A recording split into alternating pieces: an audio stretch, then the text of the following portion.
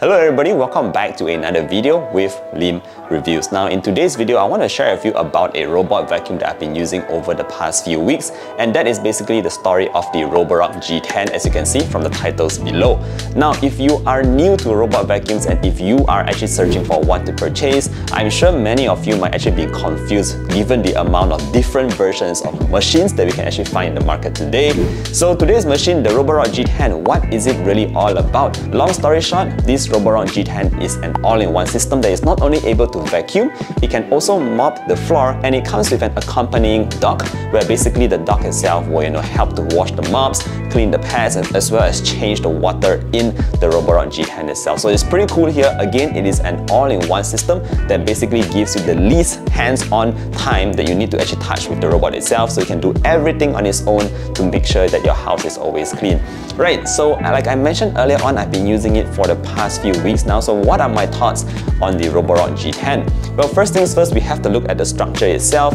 The entire G10 comes in this packaging that not only consists of the robot vacuum, but also very importantly, the dock. Now, as soon as you open up the dock itself, you will notice that there is a clean water and a dirty water section. And basically, all you need to do is actually pour in clean water into the clean water tank. And this water will actually be used to you know, put it into the robot itself so that it can mop the floors as well as be used to clean the mopping pads that are below the robot vacuum itself. So pretty cool here, the all-in-one system, the dock itself, you can think of it as a very cool home for the robot vacuum itself. It's actually very useful in this kind of situation.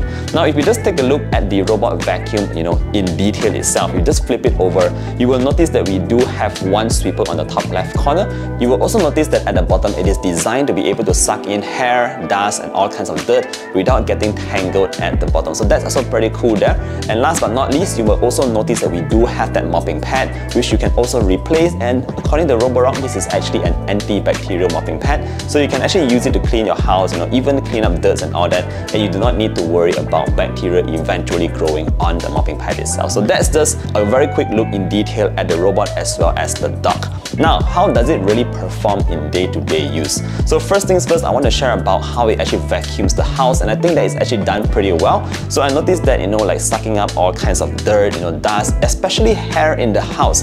It is actually very, very good at doing that. I actually did a very quick test by, you know, even throwing a couple of oats on the floor and it was actually able to suck up all the oats very cleanly. It's able to suck up the dust very efficiently as well and I never had any issues with the Roborock G10. Now it's worth pointing out that the suction power of the Roborock G10 is 2500 PA and if you compare it to other robot vacuums, this is actually considered quite standard. In fact, it is actually higher than most of the robot vacuums available in the market. But if you want to go for the higher suction power, I'm sure Roborock also has a different model that does that. But this particular one here, I would say is definitely sufficient enough for the average home.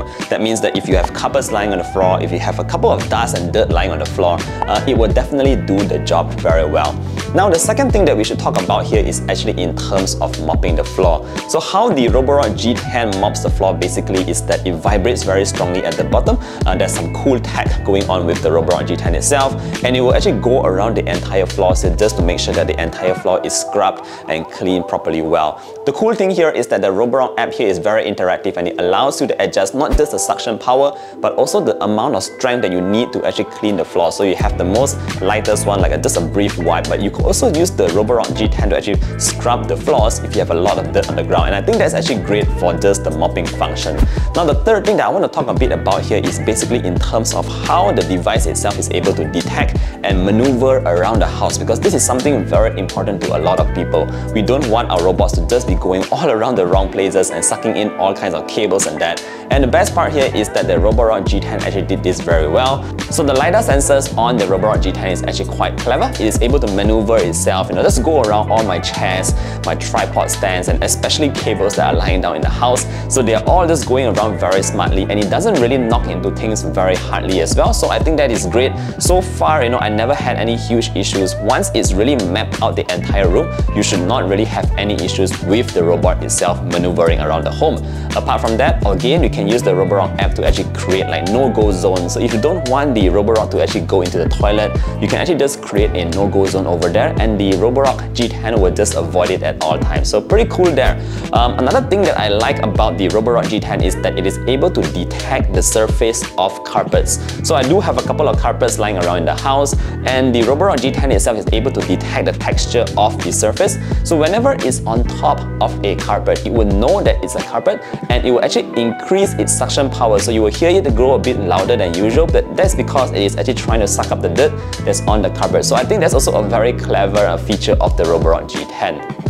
Now, if you are wondering about battery life, like how long does this Roborock G10 last on one single charge, and that's actually up to 180 minutes. So that's 3 hours non-stop. So let's say you have a large home, upstairs and downstairs, you can actually, you know, get the robot to, you know, clean the entire home. Definitely uh, sufficient for it to run without going out of battery. So yep, that's basically my experience with the Roborock G10. Overall, it is a very clever, like I said, all-in-one machine. It always keeps the mopping pads at the bottom clean and it does not come with any kind of smell. So I think that is great considering sometimes I do use the Roborock G10 to clean up like drinks that spill on the floor like Coca-Cola and that, but we do not have any kind of weird smells coming from those mopping pads. So very good all-in-one cleaning system there. Now at the end of the day, if you are looking for a robot vacuum to purchase, I think you need to consider a couple of things here. Is this something that you want to you know, completely leave your hands away? Uh, you want it to do everything on its own or you are okay with you know, just vacuuming and you know, mopping the floor yourself? So in the case of the Roborock G10. This is for the laziest people out there, uh, maybe someone like myself, or those of you who have no time at all and you just don't want to mess with the mopping system and all that. Well, I think the Roborock G10 is the perfect companion for you because it does mopping as well as vacuuming and it does the cleaning everything on its own. In fact, I just went on to uh, Shopee you know, and check out the comments there and someone even said, one of the wives I think, said that their new husband is the Roborock G10 just because it does the job so well done. So that's actually pretty funny over there, but yeah, it does work very well. Alright, so if you're looking to buy the Roborock G10, it's going for RM3999 here in Malaysia. I'll put in some links down below. And again, if you have any further questions about this robot, let me know so I can try and help you out. With that said, thank you for watching today's video all the way to the end. I look forward to seeing you guys in the next one. Stay safe everybody. Bye!